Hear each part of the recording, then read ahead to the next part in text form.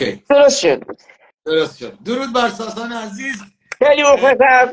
فرشاد عزیز. ممنون که از من دعوت کردی و سپاسگزارم ازت.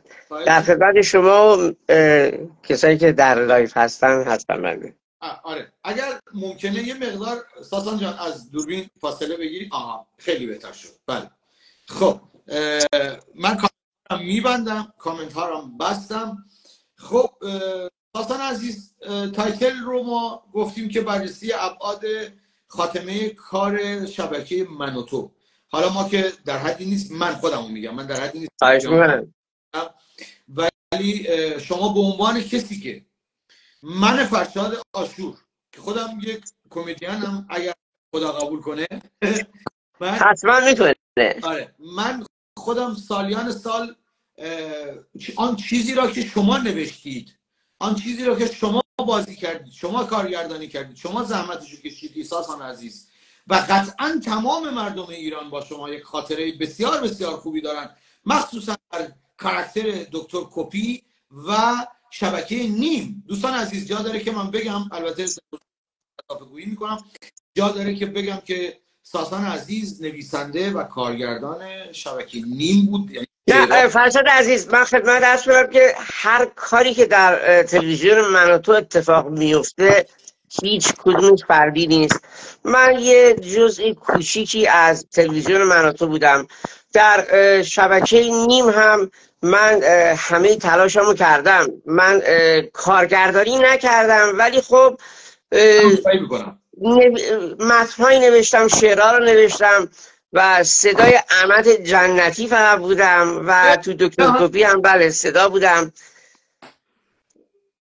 بله و همه کارهایی که تو شبکه من تو از تنز و مستند اتفاق میفته یه کار تیمیه و همه زیر یه چتری هستیم که اسمش من و این چتر و این من و تو به لطف کیوان عباسی و مرجان عباسی هستش که دو انسان بی‌نظیرن. درود بر جناب آقای کیوان عباسی واقعا درود بر ایشون و عباسی همسرشون و بی‌نظیر هستن و اون اصلا بدون شک اینجوریه. خب اه، ساسان چی شد یهو؟ یهو یه بیانیه اومد و ما ریختیم به هم. من اشکم در اومد و اصلا همه مردم ملتهب شد جام جو ملتهب شد. میسپرم تریبون به خود. ببین این واقعا اینی که ببینید وقتی آدم یک عزیزی رو از دست میده اسم این اتفاق مرگه که همه حدس این رو می‌زنن و هیچ کس نیست که به قول معروف نمیره. ولی برای منی که از اول تو من تو بودم بچههایی که بودن و کسایی که بعد اومدن یا هستن این مرگ عزیز نیست. این مرگ خود آدمه. یعنی واقعا سیزده چهارده سال ثانیه های زندگی هر کدوم از ما هاست که اومدیم اونجا کار کردیم و واقعا من همیشه دلم خواسته وقتی جلوی دوربین میام مطمئن باشم که لبخند بر روی لب ایرانی های عزیز که با سختی زندگی می‌کنن بیادش و واحد پول داخل من و تو نه ریال نه پوند نه دلار واحدش فقط عشق و محبته و اگر کسایی که خب فکر می‌کنن کسی که تو من تو کار می‌کنه الان دیگه میلیونی پول می‌بره خونه خیر اشتباه عشق می‌بره عشق می‌بره و عشق میده. بله. توی من تو این رفاقت هست چاکرتم قربونت برم اینها در سایه کیوان مرجان عباسی و تیم کاملا حرفه‌ای که می‌بینید شکل میپذیره. و واقعا هر برنامه با یه بشکن نمیره بالا. بله. خیلی خیلی مثلا تلاش میشه و امکان نداره. امکان نداره. یک برنامه حالا این که من دارم میگم خب این گذشته این برنامه آینده نیست. بدون کیفیت بره بالا. همه دیدن شما دیدی منم دیدم. و من افتخار اینو دارم تو خیلی از برنامه از دکتر کپی شروع کردم که اگر حالا مثلا مایل باشید یه سری از خاطرات جالبش رو تعریف می‌کنم براتون هر چیز. تعریف کنم الان؟ بله بله بله. ببین من دکتر کپی رو که وقتی شروع کردیم به به درست کردن این بود که من هشت هفته توی ساختمون قبلی که بودیم می‌رفتیم تمرین می‌کردیم که این مثلا انیمیشن بود دیگه. صدای من به اصطلاح با لبای میمونه هماهنگ بود. بعد پتکین که داره من میشست که به اصطلاح هم به کاره مثلا دکتر کپی رو مینوشت بعد با میمد مثلا به میگم این متن خوبی یا نه ولی پتکین هم به کارش بود. واقعا میگم اینا کنار من میشه باید روی ثانیه با من هماهنگ بود. بعد دکتر کپی اگه سرشو میپارون اون فیلینگ صدا رو من بعد میگردم از می‌کردم. بعد بعد هشت هفته من گفتش که برو تو اتاق آقای عباسیگی. کارت داره. کجاست اتاق واقعا نمیبودم رفتم بودم اه شما گفت کی باشه؟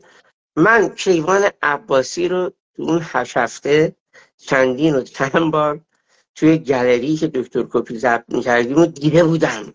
ولی نمی‌دونستم این آقا مدیر شبکه است. تو هفته یه روز می‌رفتن اون موقع. من اونجا. قبل شاپ من کار می‌کردم. این بله. انسان انقدر خودمونی انقدر باورم نمی‌شد. باورم نمی‌شد. و یه الان که به خاطرهای دکتر کوبی رسید اینم بگم بعد بریم سر سوالات بعد دکتر کوبی چند سریش که گذشت؟ من گفتیم آقا این حرکات میمونه خیلی کلیشه ای و خیلی دیگه تکراری شده. خیلی هم استفاده نمی کنیم اون کمپانی که این انیمیشن رو ساخته بود به این مسئول گالری ما گفته که هر چیزی که می‌خواید فیلم بگیرید بفرستید. ما می‌ذاریم رو میمونه. میتینگی داشتیم. من بودم امیرعلی پودکین و اون تو اتاق کیوان گفتیم کدوم حرکات؟ مثلا به عنوان نمونه گفتیم این میمونه که میرقصه. اینجوری اینجوری انگار تو استادیومه. تو اتاق مدیر شبکه منصور گفت سازان پشو کنم؟ دست می‌زد من میرقصیدم. فیلم می‌گرفت همون رقص من رفت روی میمونه. شما کجا سراغ دارید این اتفاقی. هیچ جا. هیچ جا. این فقط می‌تونه عشق باشه. همون آره. و در همین برنامه دکتر کپی شاید یک برنامه entertainment بود و اما حرفهای زیادی برای گفتن داشت. حتی شبکه نیم. این اواخر شما شب جمعه رو اجرا کردی. بله. و ببینید فرشاد عزیز من شاید خیلی حالا هر کی هر نظری داره من اومدم ریشم رو زدم خواهی ریشه در میاد دستامو شیف کردم. شدم شهره دوبار ولی محوش که شدم سینم برای من خریدن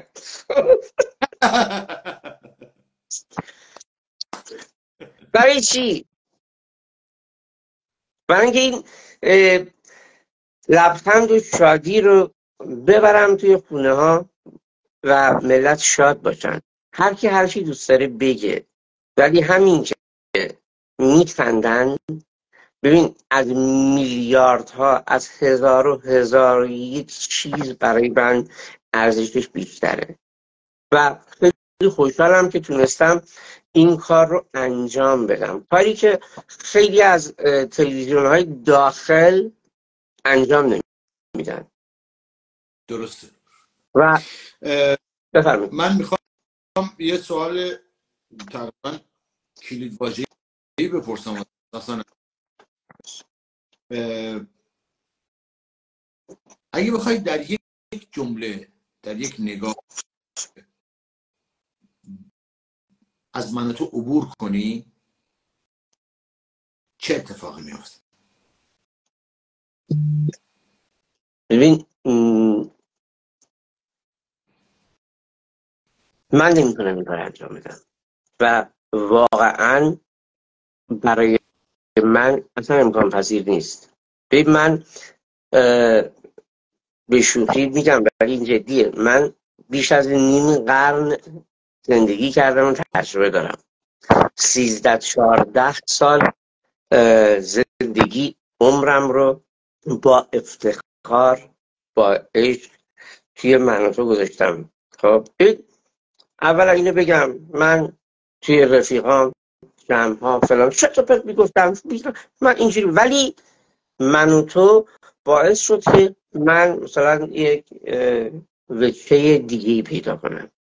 دین شما میه به من پول قرض میدی من این پول تو بهت بر میگردونم کار تمومه. ولی چیزی که من و امثال من از من و تو گرفتیم نه با منت. بی منت خب هیچ وقت من نمی‌تونم جای دیگه خب کسی دیگه ای رو این رو بگیرم و بیام بگم آقای کیوان عباسی خانم مرجان عباسی این موقعیت رو من دادی بفرمایید شما خداحافظ نه این اتفاق برای من نمیفته حداقل. و من واقعا الان که دارم صحبت می‌کنم هزار دیویست درصد پیش خودم مطمئنم پیش خودم که امکان نداره امکان نداره که من و تو تموم بشه. تو و واقعا اینو میگم اگر شبکه من و تو بخواد بگه تمام منم به خودم میگم تمام.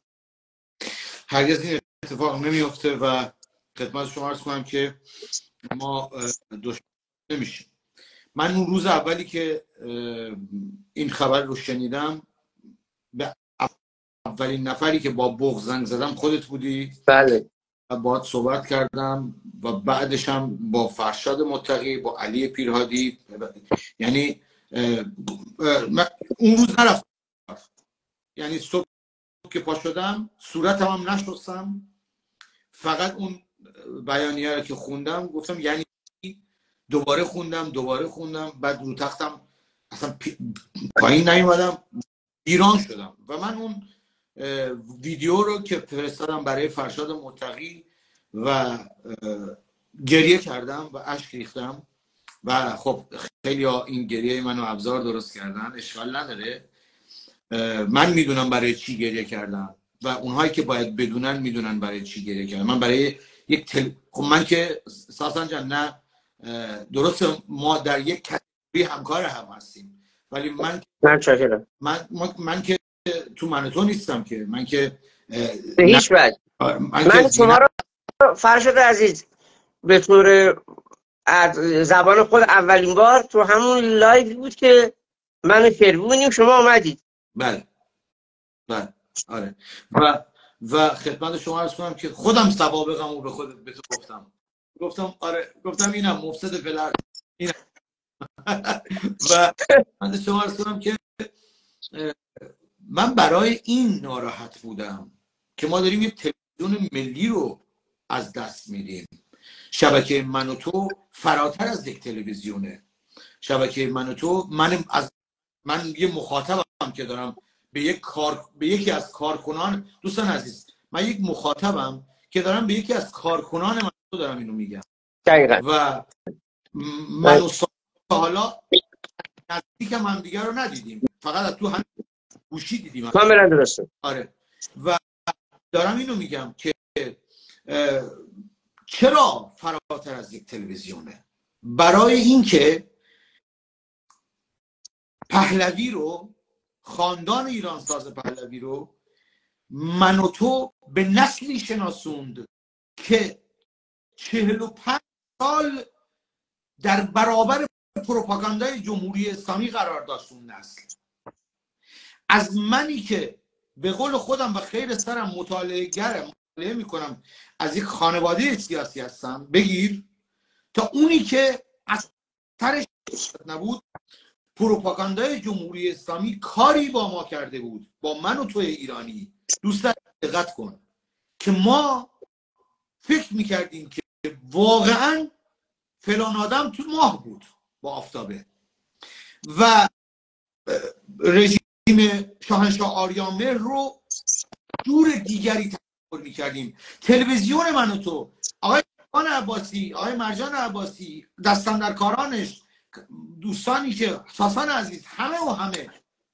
وقتی که این مستندا رو پخش کردن وقتی که صحبت کردن وقتی که گزارشگرهای مردمی من و تو وقتی که اومدن رنج های خودشون رو خوشی های خودشون رو خیلی از ویدیوها رو وقتی که فرستادن و, و به روی آنتن من رفت.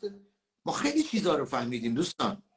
پس بنابراین فراتر از یک مگر شما تلویزیون کانال یک و دو یادتون رفته مگر؟ مگر صدا و سیمای ایران مگر یادتون رفته؟ شما چی یاد گرفتید ازش؟ چی چی؟ ایدئولوژی کثیف که به ذهن ما تزریق شد فقط.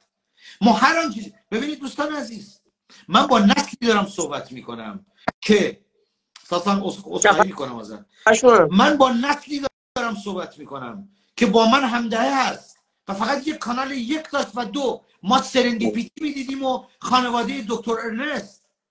ما همون نسلی هستیم که با همین کارتون های تنشزا بزرگ شدیم. و ما هیچ چیزی رو نمی‌دونستیم. تا اینکه یهو تلویزیون من تو اومد اصلا, اصلا طوفانی به پا کرد. دوست عزیز من هموطن عزیز من. شما نمی‌تونی اینو ندیده بگیری. شما نمی‌تونی اینو چشم برش ببندی. این اتفاق اتفاق بزرگی بود. اما تلویزیون من تو مثل با حفظ احترام به تمام حالا همکاران تلویزیون من تو خودش به تنهایی اونقدر تفاوت داره اونقدر تفاوت داشت که اون سطح کیفی اون برنامه های entertainment اون اتاق خبر اون واحد خبر اون گزارشگر اون رپورتاج اون همه چیز همه و همه اونقدر کیفیت داره که ما من تو ایکس ایگرگ نتونه اونو ببره زیر سوال.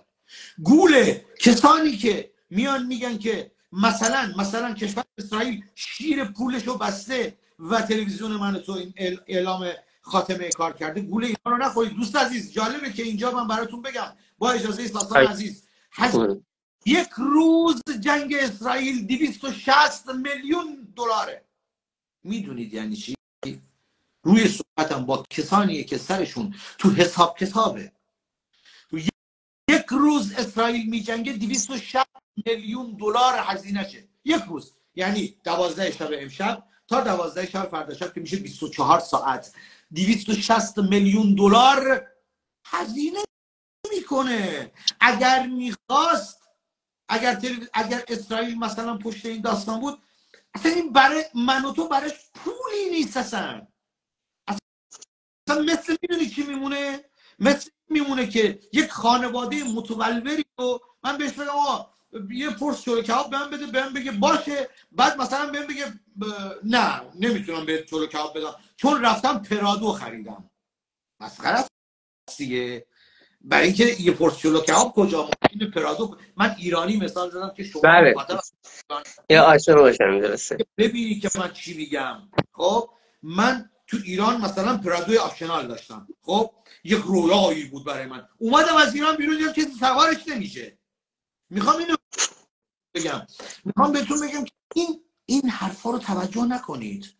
به دنبال کسانی که به دنبال فالوور هستن پول هستن یوتیوب هستن میان این خبرها رو هرچند که اصلا این ببخشید من این حرف رو می‌زنم زیادم حالا حائز اهمیت نیست. ولی من مخاطب میسوزم. من مخاطب دوست دارم تو مخاطب از جنس من آگاه باشی. یه ذره حساب کتاب کن یه ذره فکر کن یه ذره بشین ببین چی به بابا. خیلی داستان پیچیده تر از این حرف هست. مگر میشه شما بیا پس بنابراین ما نمی‌تونیم بیایم بگیم که آقا اسرائیل شیر بسته؟ نمی‌دونم فلان. آره اگر این اتفاق بد و ناگوار بیفته ما دشمن شاد خواهیم شد و امیدوارم که نیفته و هر و مدیران این شبکه آقای کیوان عباسی مرجان عباسی کارانشون حتما اونقدر مدبر هستن اونقدر تدبیر دارن که ببینن که چه کار باید بکنن. اوکی؟ پس بنابراین من از شما دوستان عزیز مخاطبین عزیز می‌خوام که گزینه های اسرائیل گزینه من مثلا می‌بینم که چون ساسان جان ببخش من خیلی با این مردم در می‌دونی؟ من بله.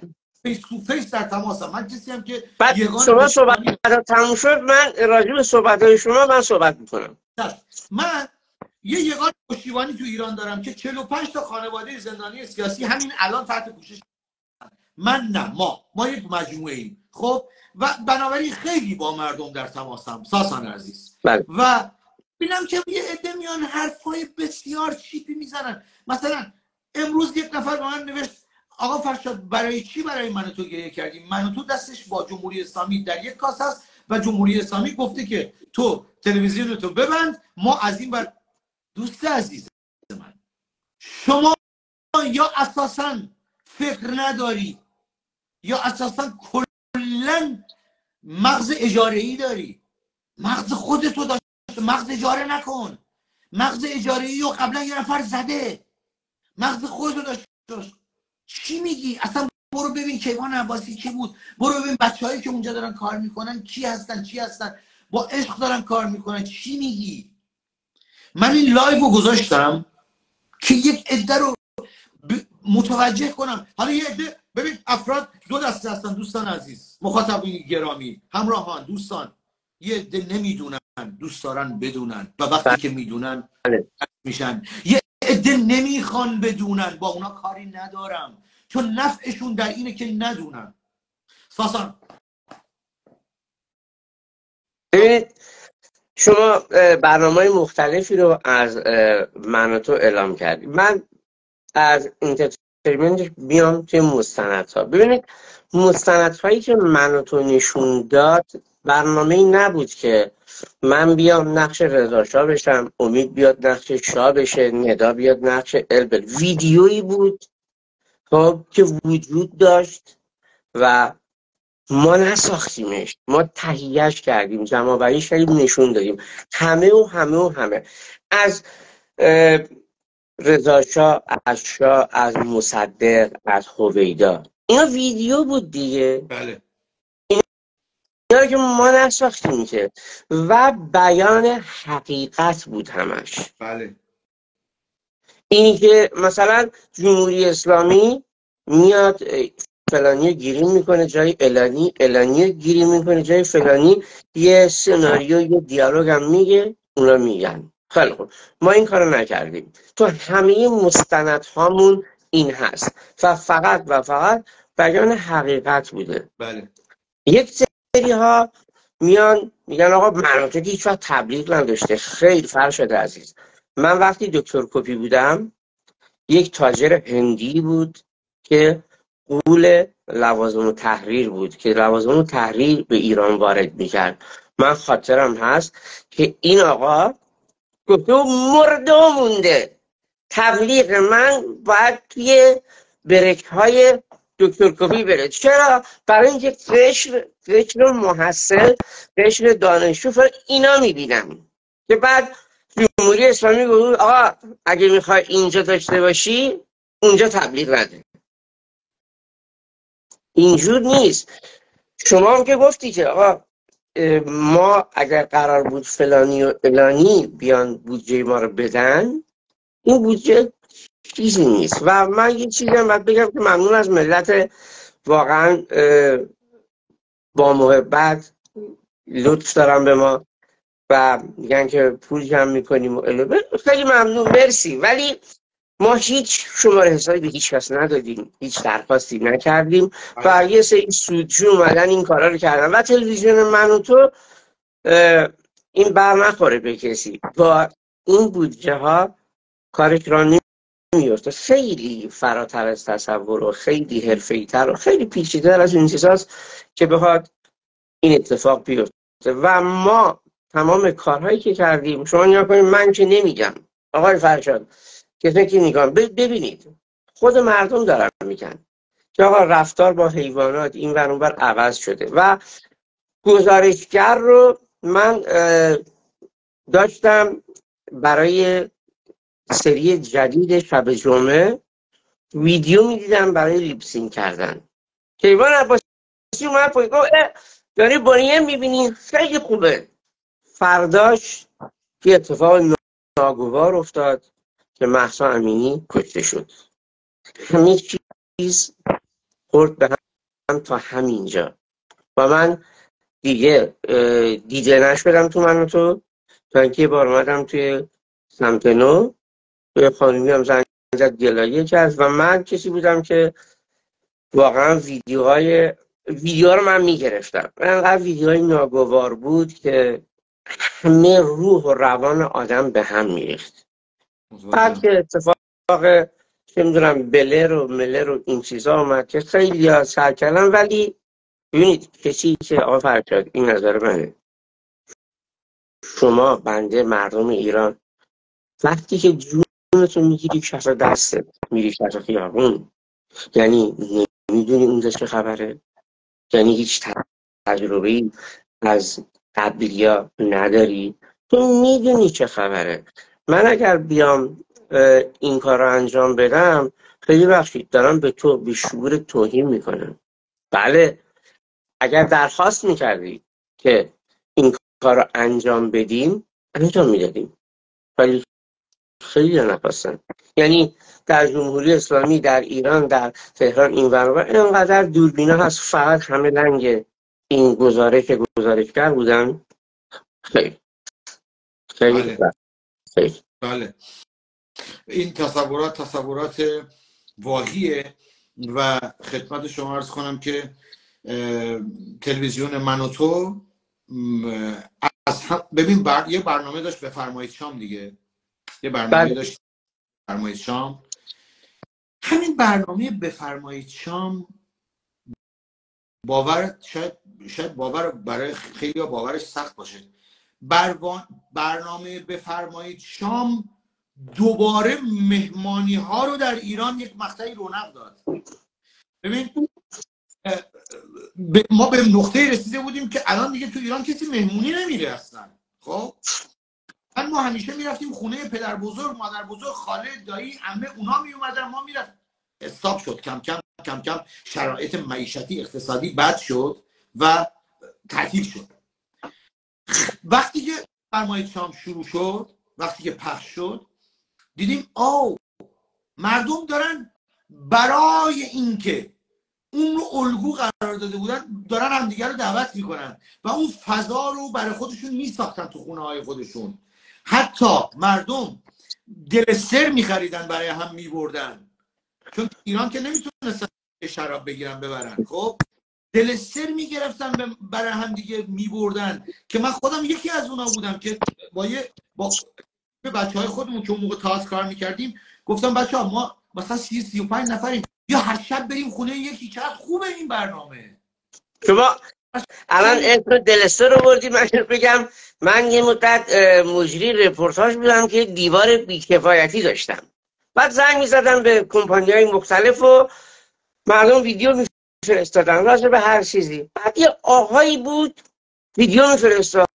آقا این من رفتم همین دلستر رو گرفتم و این الکله. من گفتم آقا برم بعد دیدم نه دوباره زنگ زدم بهش آقا قربونت بیچاره کردی ما رو؟ شست چی این جریان.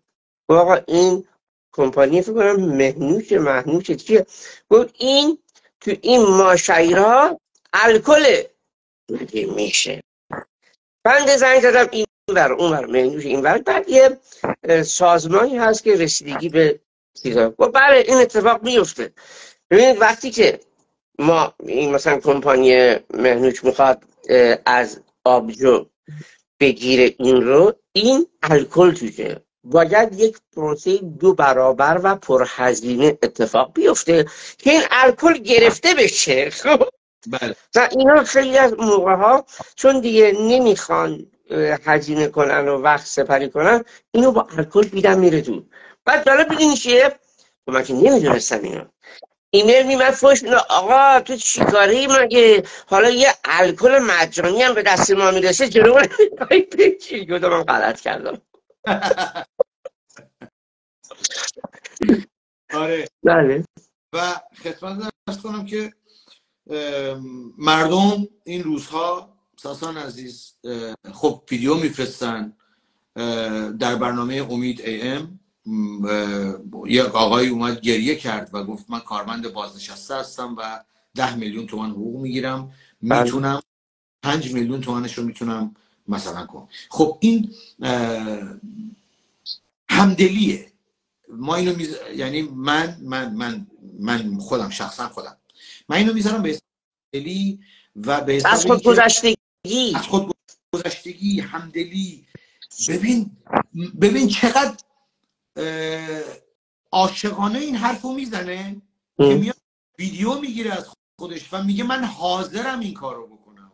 و خدمت شما ارز کنم که این نشان دهنده نفوذ تلویزیون من و تو در قلب مخاطبه. این نشان دهنده نفوذ تلویزیون من و تو در روح مخاطبه. این با این این دیگه صرفا یه تل... من برای همین میگم این صرفا یه تلویزیون نیست. این دیگه خانواده است. می‌دونی؟ وقتی که من تلویزیون من و تو رو روشن می‌کنم مثل این که مثلا خانوادم رفتیم رفتم توی خانوادم خانواده اومدن داریم با هم دیگه یک حالا خبریه داریم مرور می‌کنیم یه انترتینمنتی می‌بینیم. واقعا به خانواده یک ملتی ملت ایران دوست. بله. من کاری به سایبرین و سا... چیزای دیگه ندارم اصلا. من با روی سخنم با مخاطبین ایران دوسته. من از کلمه وطن پرست استفاده نمی‌کنم چون خودم پرستشی نیستم. من میگم ایران دوست و کسانی که ایرانی دوست هستن و با تلویزیون من و تو همه چی رو یاد گرفتیم دیگه. نباید بزنیم زیرش. حتی دوستانی که در موازات با ما سیاسی خودشون رو می‌دونن اما در جناهای دیگر هستن که من نمی‌خوام اینجا نام ببرم اونها هم مدیون تلویزیون من و تو هستن. اونها هم خیلی چیزها دیدن که کتمان می‌کنن الان. و خودشون پیش وجدان خودشون. شب که می‌خوام بخوابن میگم اه اونجا رو تو تو من تو دیده بودیم اون اون برنامه رو ما دیده بودیم. بعد میگن نه ولش کن آره ما خط سیاسی اون که اونه. ما کاری به خط سیاسی نداریم. تلویزیون من و تو در برابر پروپاگاندای عجیب غریب جمهوری اسلامی قدلم کرد واقعا قدلم کرد. ببین یعنی ببین ساسان من دارم بهت میگم من تو ایران بودم خب هنوز اون موقع دیگه وقتی بفرمایید شام و اینا رو می‌دیدیم و اینا من و تو یک بود من و تو دو بود بله. من و تو بعد اصلا یعنی ببین من اصلا خودم خب اون موقع تو رادیو ایران بودم همکار اصغر سمسارزاده بود اصغر سمسارزاده بودم جاویا بودم اون موقع همکار حسین محمد برمس نویسنده طنز برنامه صبح جمعه با شما بودم. آره. و اون موقع وقتی که من عجله می‌کردم بچه ها می‌گفتن یه بار امیر مهدی ژوله یه بار از من پرسید. همکار من بود خب. بعدا که ما حالا رفتیم زندان و این ور اون ور دیگه همه از ما فرار کردن. امیر مهدی ژوله یه بار چرا عجله به کجا می‌خوای بری؟ می‌خوام برم من ش... شام ببینم. گفت ببین به من به من گفت گفت ببین فرشتا لعنتی منم باید برم ببینم لعنتی نبینم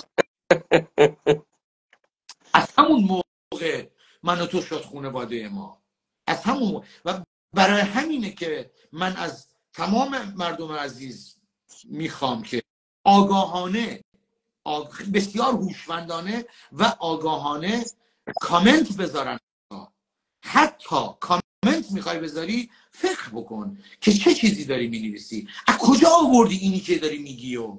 از چه منبعی آوردی؟ عده این افراد خیلی کمه. چقدر خوبه همون یک کم همون یه ذره هم بیان به ما بپیوندن. بذار ما عدهمون زیادتر بشه. امروز آقای کیوان عباسی یک بیانیه یک توییت دیگه ای نوشت و خیلی امیدوار کننده بود و من خیلی خوشحال شدم استوریش هم کردم خوشحال بود. معلوم بود که آقای کیوان عباسی از این پیام های دلگرم کننده مردم خودش هم دلگرم شده بود. اصلا تیم من تو دلگرم شد و من نمی‌خوام و نمی‌تونم بپذیرم تمام شدن من تو رو و به نوعی خاتمه کار من تو رو من نمیپذیرم و قبول نمی کنم و در دیروزم در طی یک ویدیو گفتم اگرم این اتفاق بیفته اگر اگر. یک درصد. من میگم یک درصد. تلورانس جهانی دو درصده. من میگم یک درصد.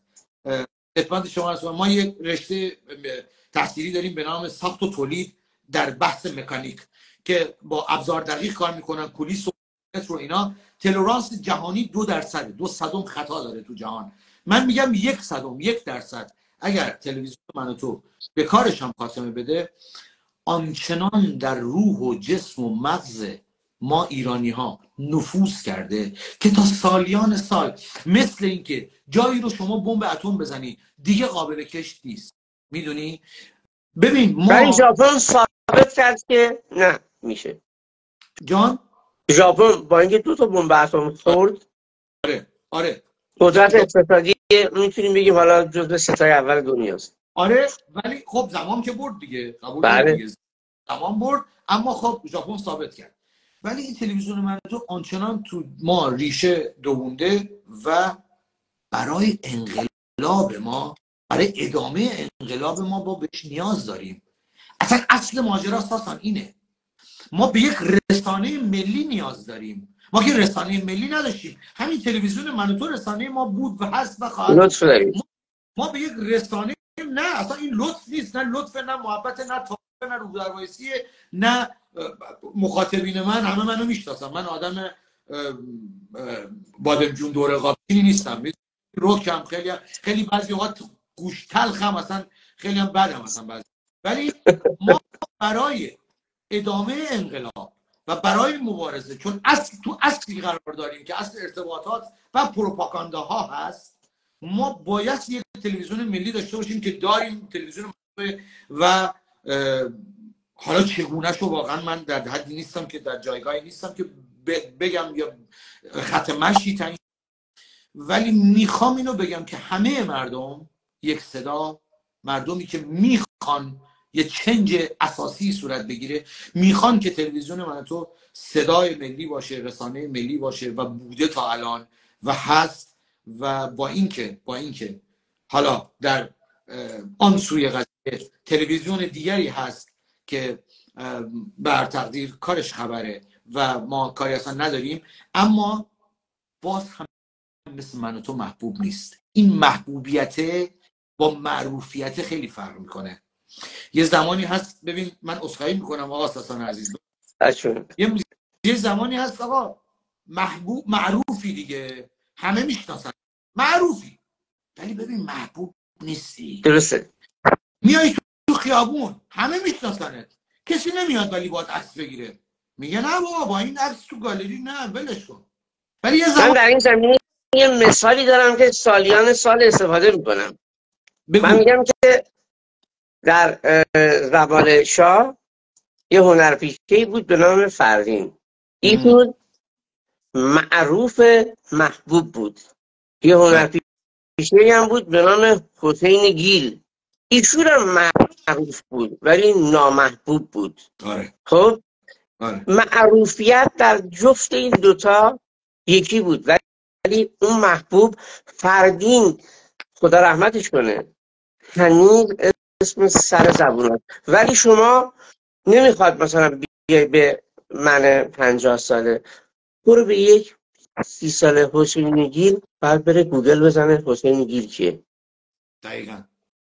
برای اینکه جفتشون واقعا خودشون بودن. اون یک انسان بود این یکی نبود. بله و الان هم تو وزارت ارشاد داره حسین کار می‌کنه. ببین کجا رو. آره آره آره.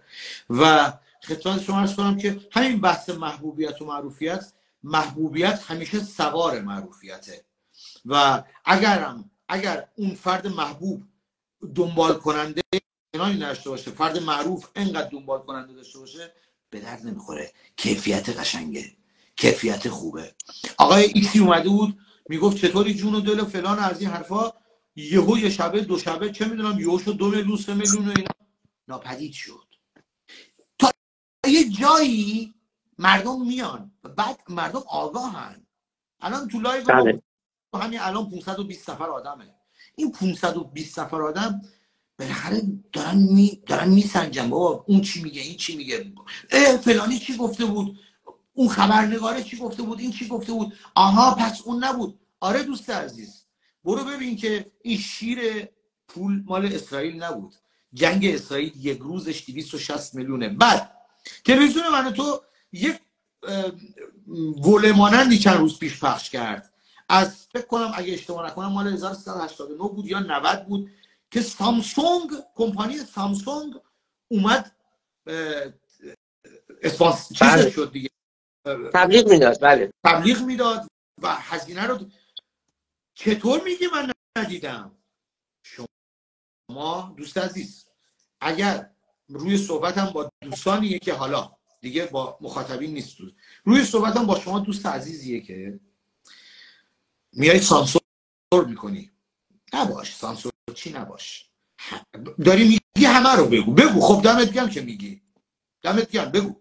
ولی دوست من همه رو بگو.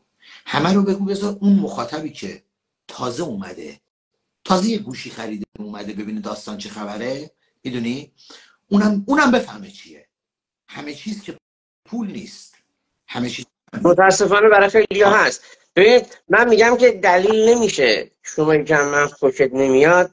من میشم دروغگو ولی از من خوشت میاد من میشم راستگو. بیان حقیقت خب آقا من این چیزی میگم. خب شما اصلا به من گوش نکن. بشنو برو تحقیق کن. بعد بیا بگو من دروغگو هم تلویزیون من و تو.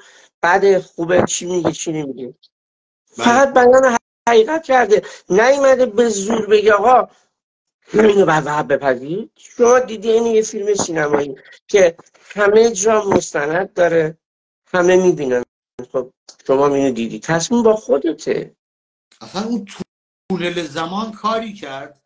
اصلا اون تونل زمان من و تو کاری کرد که واقعا همه گفتن واو ما این بودیم ما چی بودیم ما چه چی بر ما گذشت؟ ما چرا اینطوری شدیم؟ آگاه ببین اصلا یک انقلاب شد. و این و, و این انقلاب تداوم داشت همیشه. چرا؟ چون انقلاب تو دل مردم به وجود اومد. چون این مردمی که رفتن دیدن فردایی رفتن سر کار گفتن آقا دیشب من و تو رو دیدی؟ گفت نه. گفت امشب ببینا یا هفته دیگه این موقع ببینم. گفت برای چی؟ گفت ببین چی نشون میده؟ و اونم رفتید اونم رفتید اونم رفتید. یهو این انقلابه تو دل همه به وجود اومد. جوانه انقلاب به وجود اومد. و ما برای ادامه انقلاب من تاکید می‌کنم و نظرم اینه من بنده حقیر. نظرم اینه که برای ادامه انقلاب ما به تلویزیون و مناطق احتیاج داریم و تنها رسانه ملیه که نه خط می‌گیره نه خط می‌گیره نه سویه داره نه فقط همونی که شما فرمودید.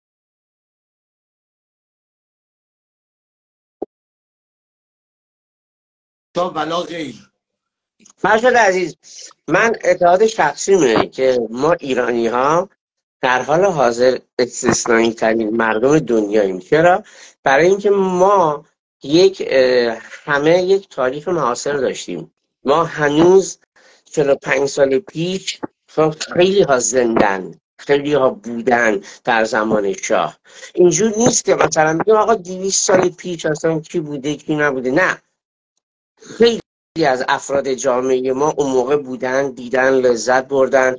ارج و قرب ملت ایرانی رو در دنیا دیدن.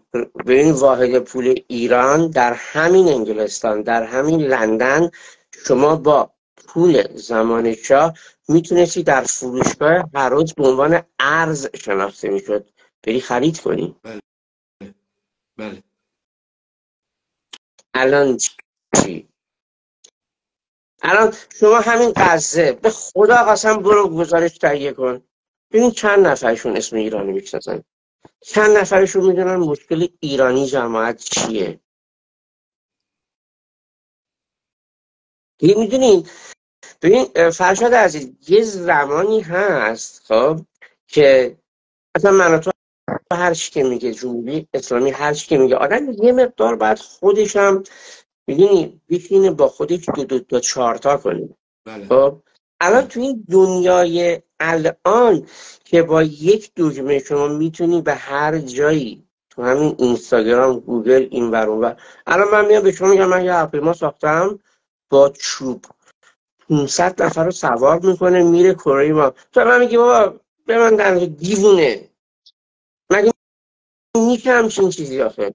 یه خورده ما باید بدونی درون خودمون دو دو تا چهارتا کنیم که ببینیم آقا حق با کیه حق با کی نیست. و میگم همه این چیزایی که منو تو نشون داده من بازی نکردم. همکارای من بازی نکردن. اینها رو آ برو دوباره ببین وقتی خود بذار. بله. اینا رو شما میگین آرشیف ها رو یعنی هیچ کس دیگه نذاره؟ آقا جمهوری اسلامی نشون بده. شما چه کردی؟ شاه چه کرده؟ بله. و من تو اینا رو نشون داده. نگفته بپذیر گفته تصمیم بگیر دقیقا. دقیقا. اون آقای میگم حالا آقا که میگم اعتبار خلخالی اسب شاه رو کور می‌کنه. بله. بعد زبونش رو می‌بره. بعد بله. دست و پاش رو قطع می‌کنه بعد می‌کشه که درس عبرت بشه واسه اسبای دیگه. خب. بیش از این بخوای صحبت کنی من به شعور خودم توهین کردم. میفهم شما تصمیم بگیری این آقا کیه؟ یه باقیشون کیان؟ و کسایی که طرفداری می‌کنن از اونها کیان؟ شما میگی شما میگی حقیقت میگی یک ثانیه هم در من تو کار نکردی. پاتم تو من تو نذاشتی. من در زندگی در طول 13 14 سالی که مثلا همه می‌دونن شما می‌دونیم من با دنیای مجازی ارتباط آنچنانی ندارم. بله. من یه سه بار سه بار که این سومی که اومدم لایو یک بار بفرمایید شما که اولین بار اومدم صحبت کردم یه بار با سالومه اومدم سومین بارش هم اینه. که دور بینم هم دیدید. بلد نبودم برعکس کنم. خب. این افتخار منه به من افتخار. نه نه لطف شماست واقعا. من می‌دونم الان خب ببین خیلی ها الان میشینن این زیر چرت و پرت می‌نویسن. آقا شمایی که داری هزینه میدی برای این اینترنت تو بنویس. اب نداره. ولی برو تحقیقت هم بکن. یه بودی نباشین. آره آره. حرف منو فرشاد رو. نپذیر ولی برای پذیرفتن یا نپذیرفتن برو تحقیق کن این قشنگه و اون اون پذیرفتن بعد تحقیق یا حتی اون نپذیرفتن بعد تحقیق وقتی که به زرس قاطع یه چیزی رو میپذیری و به زرس قاطع یا حتی یه چیزی رو نمیپذیری اون کامله به نظر من اون, اون تکامل یافته است. یعنی اون موقع شما می‌تونی بگی که قطعا آره یا قطعا نه. و بله. برای همینه که خیلی های اهمیته. اه، ساسان عزیز خدمت ترس می‌خوایم یه می‌خوام یه اشاره ای بکنم به سکوی پرتاب. بله. و سکوی پرتاب شد. خب؟ ببین من و تو شما وقتی می‌خواید با یه کلاشینکوف یه جسه یه کلت تیر شلیک کنی اگه پشت سنگری که با گونی های شنی انجام شدن می‌تونی. ولی من و تو واقعا برای من و خیلی پرتاب یک موشک فرهنگی اجتماعی حقیقتی بود که واقعا افکار و دید خیلی ها رو واقعا برد خیلی خیلی بالاتر از اون چیزی که می‌دونستن. در یک قسمت از بیانیه آقای کیوان عباسی اومده بود که خیلی ها اومدن با ما کار کردن و رشد کردن. من و تو اساسش همینه و و این یک واقعیت بود ساسان من وایستادم فکر کردم ساعت ها وایستادم فکر کردم. و من یه چیزی رو نمی‌خونم رد بشم. استاپ می‌کنم گیر می‌کنم. خیلی ها تو من و تو اومدن و دیده شدن. می‌دونی؟ حالا شما که اومدی موندی و پایبندی و موندی شما وفادار بودی و وفادار بله. هست وفاداری اصل عجیب غریبیه که کار هر کسی نیست. ممنون.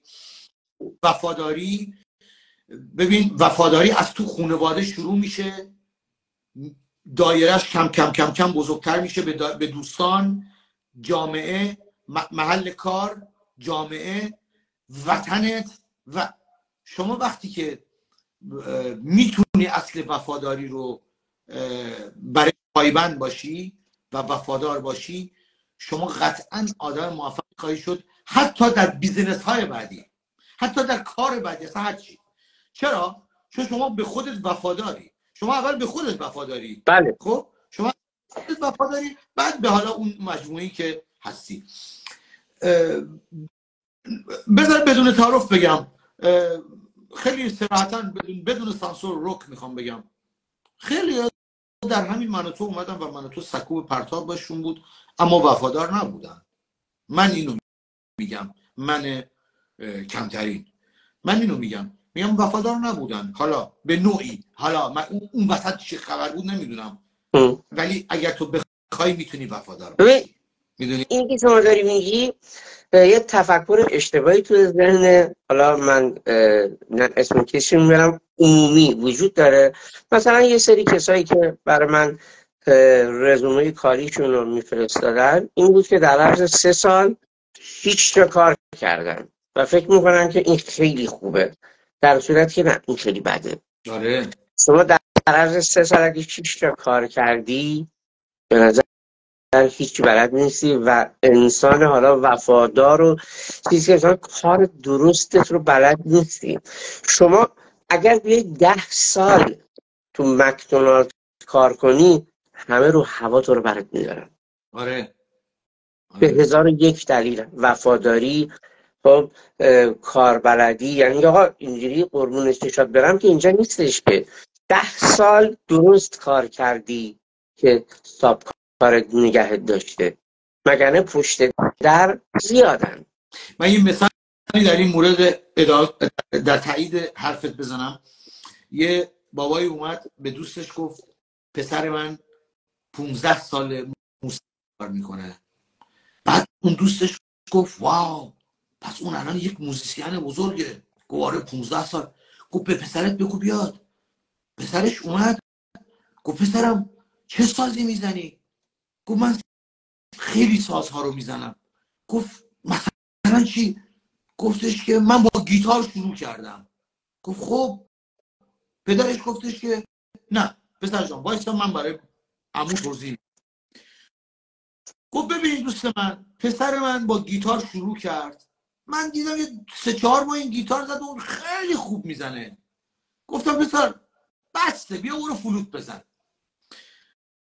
یه چهار پنج ماهی فلوت زد دیدیم بابا اصلا این با فلوتش گریه میاره آدمو. گفتم پسر فلوتو بزن پایین نی بزن. نی زد چهار پنج یه سالی نی زد دیدیم خیلی باحال رفت آکاردئون زد. آکاردئون خوب بود رفت پیانو زد. پیانو رو خوب بود رفت چنگ. چنگ رفت قانون. قانون دیدیم خوب ستار داریم دستش. ستار رو دیدیم خوب می‌زنه سنتور داریم دستش. که داشت می‌گفت همینجور که داشت می‌گفت پسرش اشک از چشمای پسرش ریخت. دوست پدرش گفت اما گریه می‌کنی. گفت من هنوز بعد 15 سال نمی‌تونم. ملودی کامل ملودی و آکورد کامل آهنگ ترانه یه دل میگه برم برم و بزنم. برای اینکه من این واقعی برای اینکه من 15 سال نفهمیدم چی کار کردم.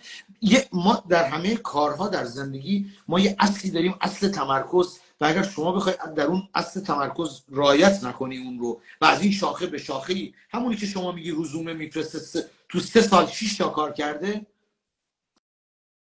اما من می‌بینم ساسان ده سال مونده سالومه اومده مونده امیرعلی اومده مونده.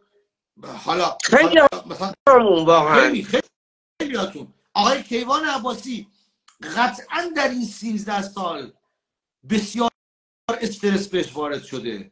مگر میشه شما بیاید یک کارفرما بشی یک مجموعه ای رو بچههایی رو جمع کنی و یک تلویزیون ملی را بندازی و شب می‌خوای فکر نکنی راحت باشی؟ نه دوست من. مخاطب عزیز دوست عزیزی که داری این لایو رو نگاه می‌کنی خیلی سخته. رسانه خیلی سخته. بعد از کار مدن رسانه دومین کار سخت دنیاست. برای اینکه شما باید مخاطب جلوی مخاطب صحبت کنی. برای اینکه باید برنامه تولید کنی. تولید محتوا داشته باشی جوری هم باشه که ببیننت و بگن واو به به عشق می‌کنیم. فرشاد عزیز یک نکته رو من بگم. ببین من 23 ساله که لندنم. تلویزیون من و تو 13 14 ساله که الان هست. ولی قبل از من و تو من به یاد دارم که تلویزیون های خارج از کشور که فارسی زبان بودن هم وجود داشت. و کم هم نبودن. و قدمت یه سریاشون بیش از ده سال هم فکر کنم بود اگه اشتباه نکنم. ببین من به خودم میگم که اون کسی که اون کمپانی که حالا هر کسی که اومده اسپانسر کیوان و مرجان عباسی شده یک چیزی رو یک هوش و ذکاوت و یه مدیریت خاصی رو در ایشون دیده. مگر خب خیلی های دیگه بودن که می‌گفت تجربهش هم شاید بیشتر بوده. ولی این مهمه. من اصلا کار به هیچ کس ندارم. فقط به اون اسپانسر و کیوان عباسی مرجان عباسی مگر چی میاد تو این دور زمونه؟ یا تلویزیون مناتویی که واقعا بیست دقیقه طول می‌کشه تا دورش پیاده بری رو همچین امکاناتی رو بیاد. چیز کنیم که خیلی حرفه‌ای روی ثانیه بتونه کاری کنه که همه لذت ببرن. یه کار قشنگی تلویزیون منصور چند سال پیش کرد. این مسابقه خوانندگی بود اگر اشتباه نکنم خانم بله. Stage خانم گوگوش اومده بود. او آکادمی گوگوش بود. Stage یکی دیگه بود. آکادمی گوگوش. خب گوگوش به هر تقدیر خیلی با گوگوش خاطره دارن. با با گوگوش بزرگ شدیم. با گوگوش بالاخره مخصوص نسل بچه های نسل ما. اصلا ما تا حالا ندیده بودیم گوگوش حرف بزنه. یعنی ما حرف زدن گوگوش رو اونجا دیدیم. فقط خوانندگیش رو دیده بودیم بله. ما خیلی از هنرمندا رو تو من و تو دیدیم اومدن شخصیتشون و فلانشون و اومد. این واقعیتیه. ببین تمام همه این کارها تمام این کارها کی کرد؟ چهل و چهار سال بودجه عجیب غریب نفتی در خدمت جمهوری اسلامی بود. با یک عجیب غریب اما نتونست کاری بکنه. در عرصه فرهنگ فرهنگ مردم رو نابود کرد.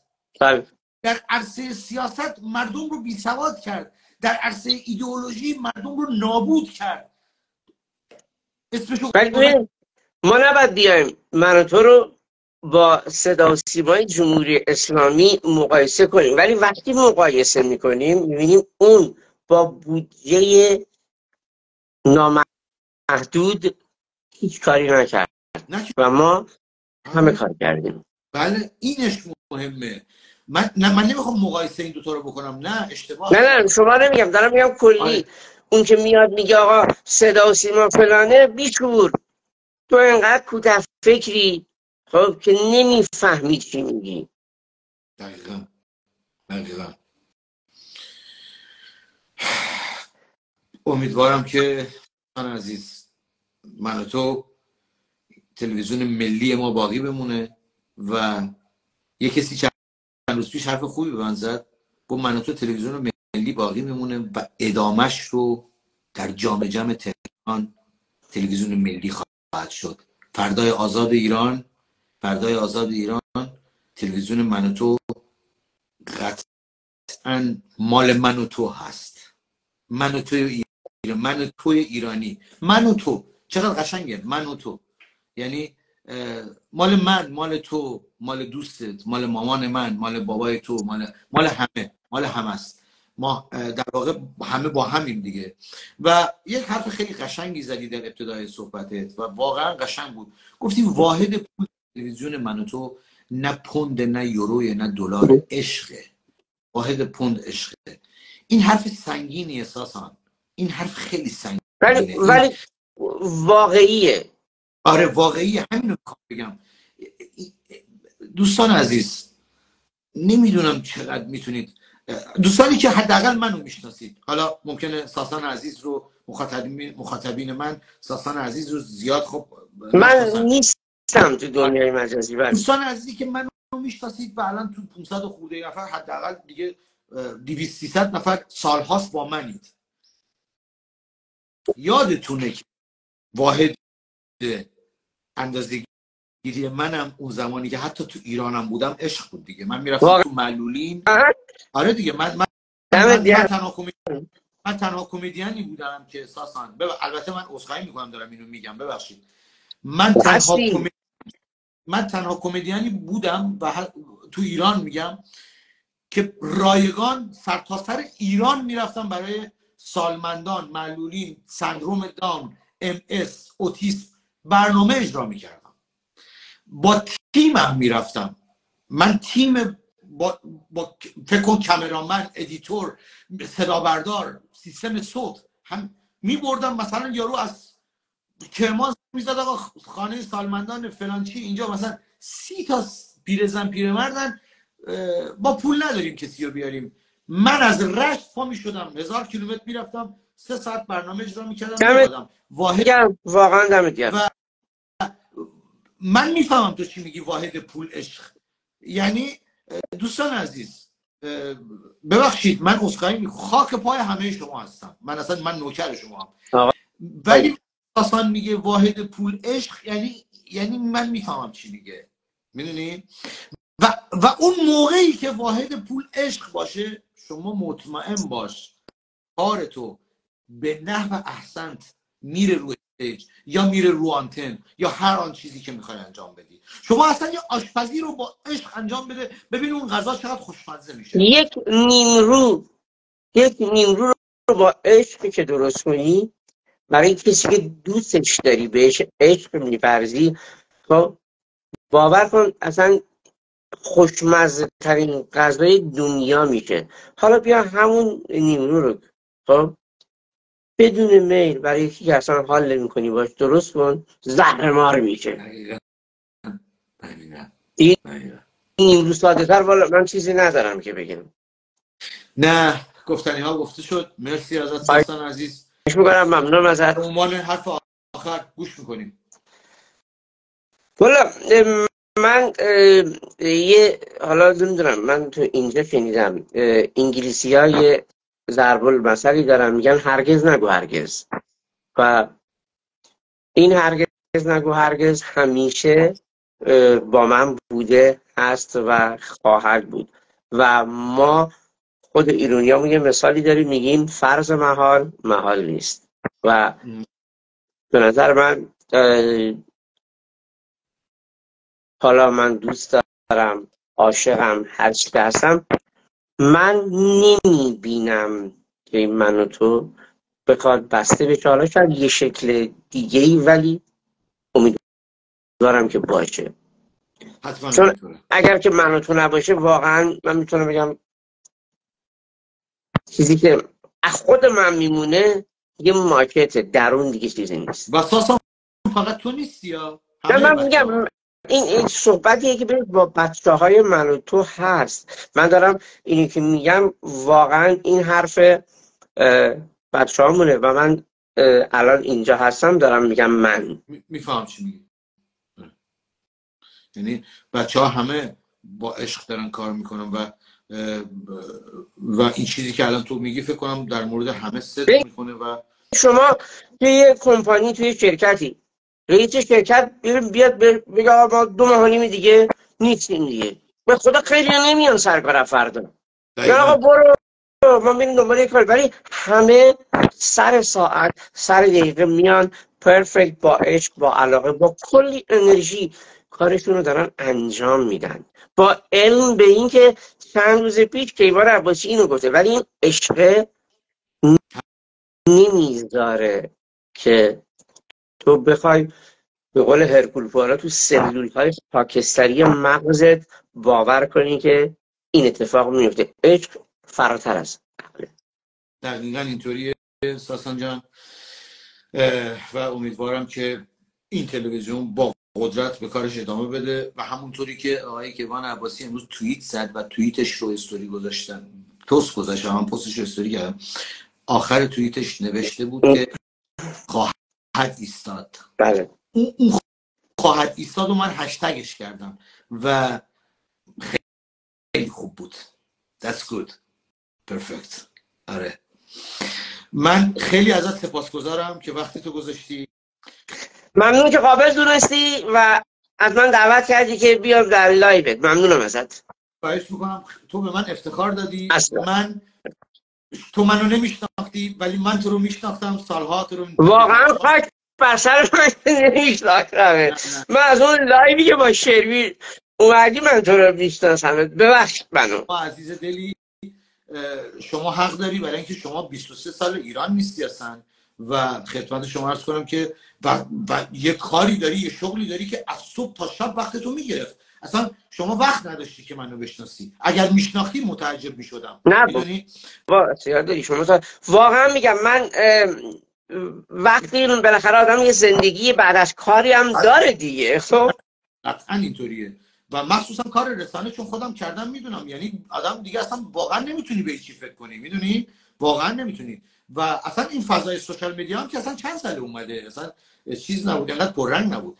بنابراین خدمت شما عرض کنم ولی من بیننده پر و پا قرص شما بودم.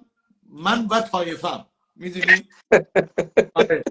و دوستتون دارم. خیلی دوستتون دارم. همچنین دارم. امیدوارم بهترین ها بیاد. حال دل خوب باشه و حال دل شما براتون بهترین ها رو آرزو می‌کنم. قربون قربونت برم. من خیلی خوشحال شدم. من بازم بگم من بلد نیستم. فرشاد عزیز این روز live رو save کنم. من تو بلدی دیگه انجام بده برای منم بفرست که به عنوان یک افتخار داشته باشم دمت گرم. فدات بشم با اه، کسایی هم که تو live بیننده بودن و میشنیدن خدافظی می‌کنم ممنون. بدرود به شما. قربونت. خدا نگهدار قربونت خدا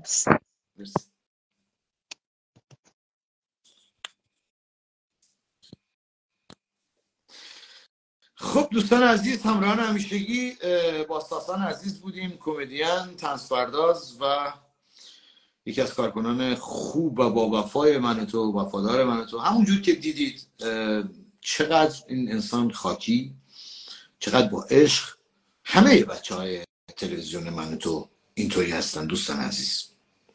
مرسی که live رو به تماشا نشستید.